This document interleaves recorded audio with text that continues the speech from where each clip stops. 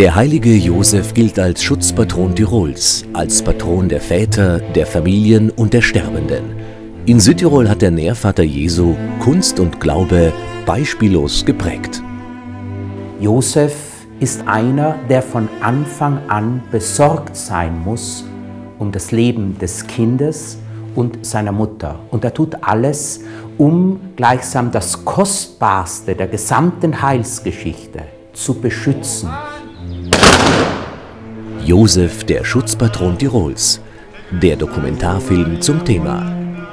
Morgen auf Rai Südtirol.